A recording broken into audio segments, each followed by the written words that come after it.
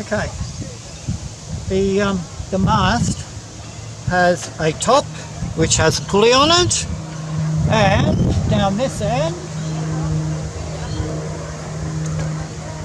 it has a bottom and there's a bit jutting out, a tongue that uh, fits into the hull of the boat. On these boats we've worked out that we put it in this channel here and we put it between these two pins. Your mast with all of the, uh, the ropes set up, um, tied up, so they're out of the road while you put the mast up.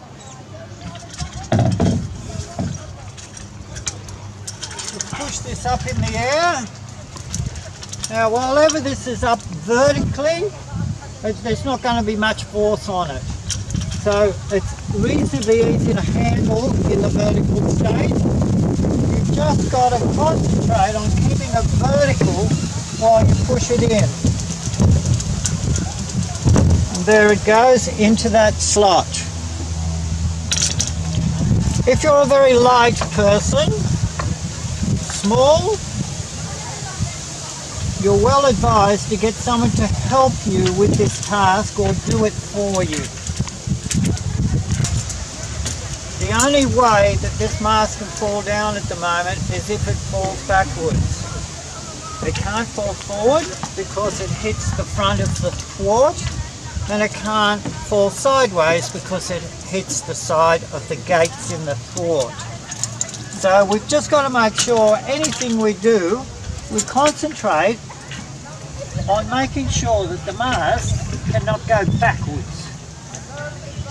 Stays, they're these metal wires, are wrapped around the mast, but in this case they're not.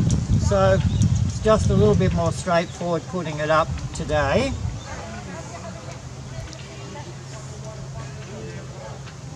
I'm just going to thread this through this saddle, then through this thimble a couple of times. And then I'm going to let the mast back a little bit. Still holding this to make sure the mast doesn't get away from me. Okay, that's probably far enough back. And I'm going to tie three half hitches in that. Pull a loop out to the side, round the back, through the loop, pull it once again loop out to the side round the back pull it and the way we put these in a little pin here we turn it around till it aligns with the slot and the pin will come halfway out it won't come all the way out push it through from the outside towards the inside and turn it with that little um, piece of metal downwards so that it can't come out of the slot. Yep. There we are here. You can see that little lug there. Turn around to where the slot is and we can pull that through. It will only go so far. Put it over the saddle, line the lug up with the slot and there we have it. They're both set up now. We don't have to fiddle with these at all. up to the front, we tension the mast up. The reason why we left this a bit loose to start with was to make sure that we had enough slack in the whole system to put the side stays on. If it was pulled all the way forward, the side stays wouldn't have fit, on, fitted on. As you're tensioning these up, pull down rather than up.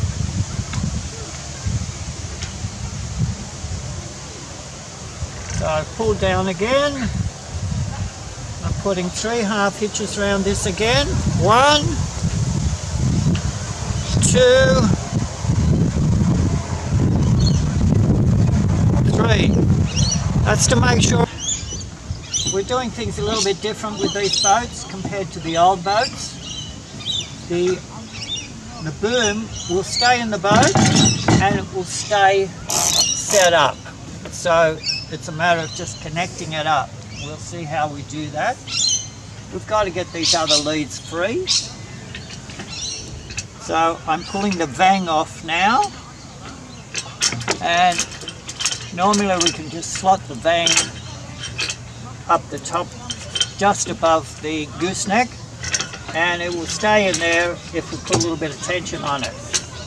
Now it would appear that we've got a few ropes being put on in some funny order when this boat was uh, uh, put away so we just got a bit of a challenge here to get that sorted out. I'm just undoing them. When you're undoing the halyards, that's the ropes that pull or haul the sails up. We need to be careful not to pull it and find it goes up the mast because we won't be getting it back in a hurry. So we'll be putting up the jib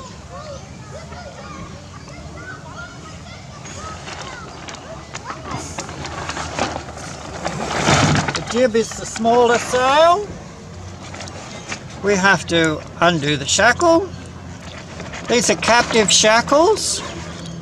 They're meant to be undone and not pulled right out. That way we don't go looking for pins all the time. Put it in, do it up, get a shackle key, which are in the shed, tighten it up just above finger tight. Now,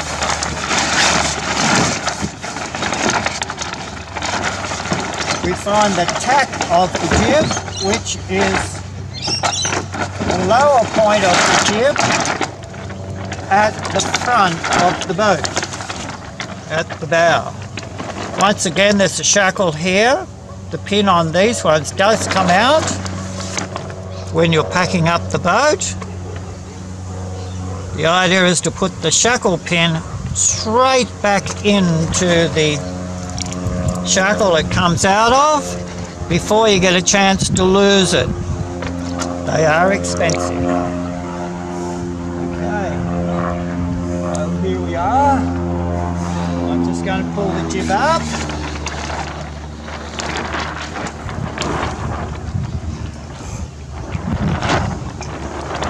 Just going to put this halyard through a hole in the cleat there.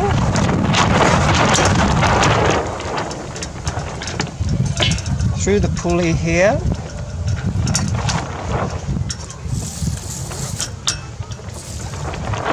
And pull down like mad, hard as I can.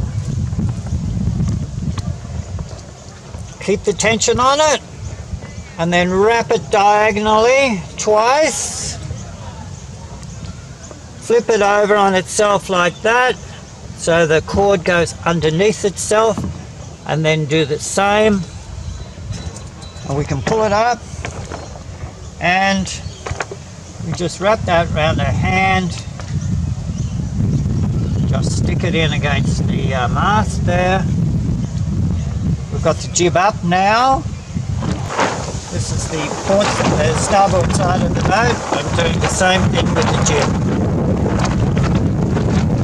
And jib's flapping around a bit and it's not too windy. We can just uh, put a bit of tension into both the uh, sheets and it should uh, stop it from uh, flapping around all over the place. This is the halyard for the mainsail. It's been tied up here so it doesn't go flying up the mast. We should have a ring on this. Um,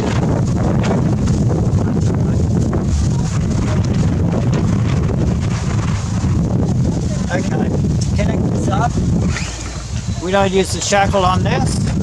We make a loop put it through and put that little bead through the loop as it comes through to the other side of the sail and it just holds it there as long as there's tension on the sail, which there always is. Okay, so moving the sail up. It's always a good idea to look up before you do anything because something might be twisted. If it is, you're going to have to pull the sail down to untwist it.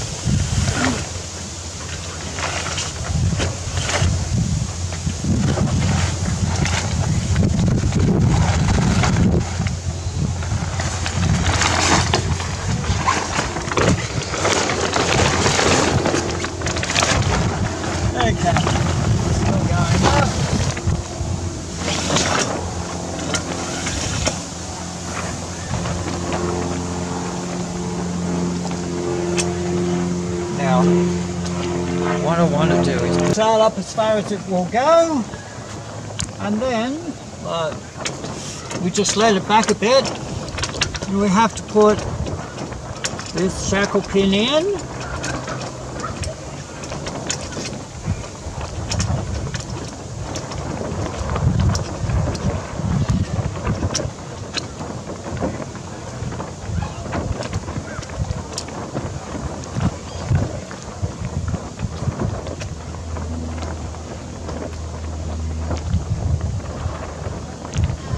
Right. Okay.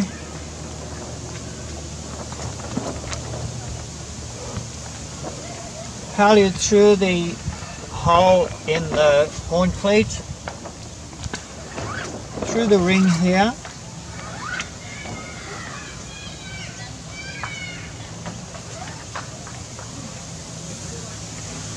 That ring allows us have a three to one ratio to pull that sail up.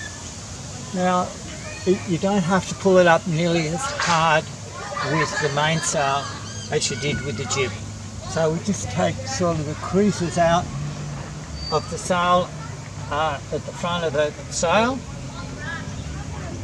Once again, four diagonals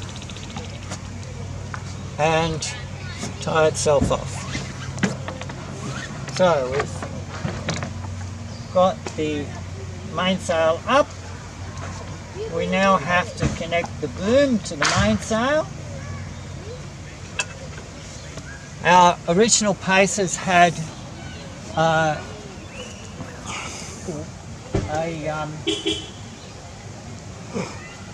a mainsail that didn't have a, uh, a rope al- along the bottom, but these ones do. So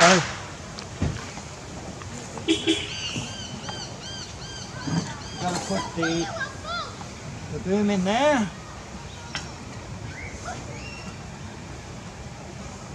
We've got long arms, it helps.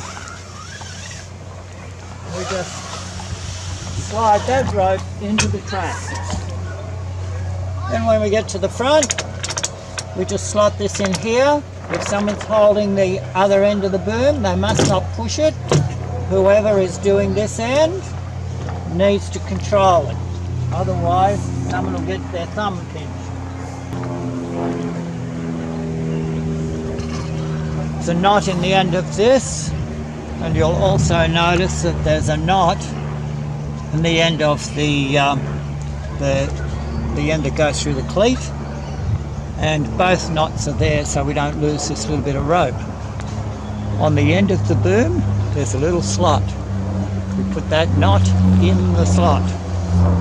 And then we can pull this out sort of a medium amount. If it's really windy, we might want to pull it out a bit harder, but medium amount. We've already got the main sheet threaded, so that's all sorted out. The vang, that's the one with the yellow cord, as you knew from before. And at the end of the vang, there's this little gadget that fits in a slot onto the boom. That's in now. Now, there are several shackles here. We do not undo any of them. The only thing we do is slot that little thing into the balloon. Now, we then have to thread this through a hole there. Do that. And we can pull that into the cleat. Now that is used to adjust the vang. This is different to our other boats. The other boats we just adjusted the vang on the vang itself.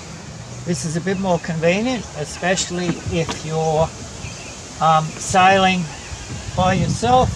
You can get to the vang very easily, pull it up as hard as you need to. Now, the last thing as far as in the boat goes is the centerboard. The centerboard has a rope that pulls it up out of the water. Now, it also has a rubber shock cord that pulls this rope, which pulls it down. So we can adjust the position of the centerboard. Most of the time, we'd want it to go all the way down. We have found that we haven't quite got this tension in the um, the bungee pulling the board down correct yet. But when you get in the water, you might have to grab that and pull that down once you get in deep enough water. When you need to get it up again, you may have to push it a little bit and pull this and lock it in so it holds the board up. Last but not least, we've got the rudder. The rudder is actually tied to the boat. There's a reason for that. The reason is that if someone doesn't put the pin in the rudder, something I'm about to show you how to do, then the rudder can fall overboard and go to the bottom of the lake. We don't want that to happen. So you don't untie this, you don't untie that down there.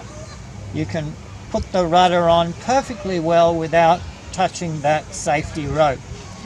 Okay, pins go in, just like that, and you've got your rudder into its pintles. And we now put this pin through here. And theoretically, if that rudder tries to come out now, it can't. We don't put the rudder on till we're actually ready to go into the water. Not when we're in the water, but ready to go into the water. That way, the rudder bounces down while we're transporting the boat. It doesn't get wrecked on the um, on the ground as it hits the ground. The, um, the rudder, when we're sailing the boat, we need to push the rudder all the way forward. Now there should be enough drag on the rudder to leave it down, it'll, it'll stay down. And when we come into shore, we should be starting to pull the centerboard up. Our arm should go over the back of the boat and we should pull the rudder up to the horizontal position. Now the packing away of the boat is roughly the reverse of that. So maybe we'll do another video some other time for that.